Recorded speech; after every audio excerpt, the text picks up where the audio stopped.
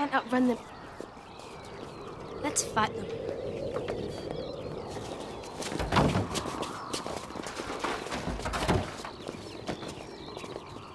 I don't get it. That's them that's got it. I bet they're crawling with the virus. They're finished, and they know it. Come on, let's go home.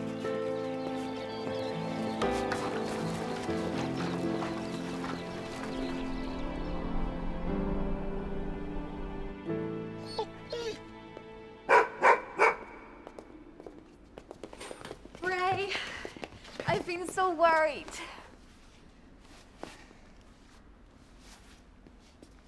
Everyone, this is Danni. She's come to help. Is this it? The antidote? What's it to you? As Bray said, I'd like to help. Didn't take you long, did it? Guys, isn't this a time for celebration? We did it. We really did it. Isn't it fantastic? Yeah, They wanted to drink it. We made them wait for you. We've got a future, Bray. Wait. Where's yours? I've already had mine. Courtesy of Ebony. No hard feelings? Like I said, no feelings at all. So what are you waiting for? Drink up. I don't need it. I have other methods. Wait, What now? Bud needs some. Bob's an animal, but see, they don't get the virus. Mm. to the future. To the future. And Amber and Zandra.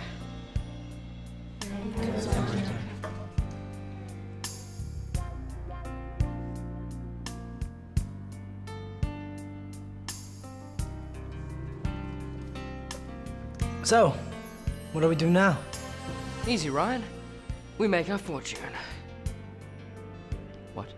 Well, this stuff is liquid power.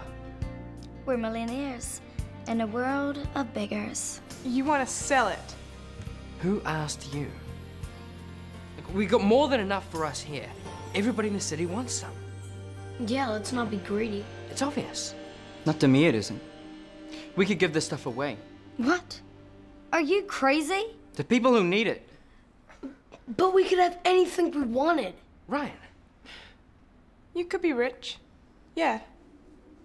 Rich and lonely millionaires. With everybody else dead. like I said, who asked you? I don't need asking.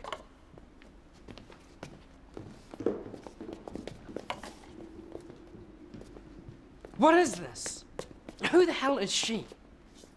We didn't have to bring it back here. We could have kept it. But we thought would be nice and share it. And now you lot want to flush it down the toilet?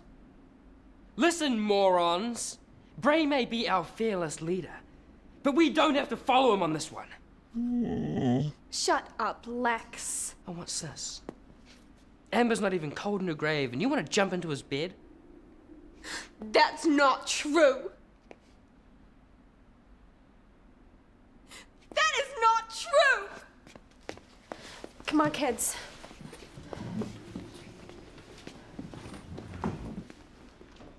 Seems like the future will be pretty much like the past. Danni.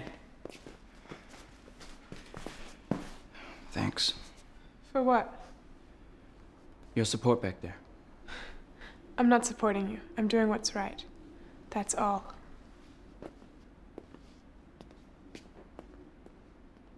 You really want to live in this dump forever?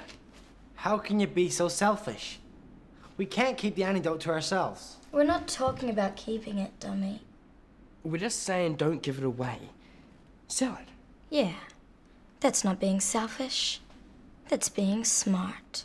But what would we sell it for? Anything. Anything they've got. What if some people don't have anything? There isn't enough to go around the whole city anyway.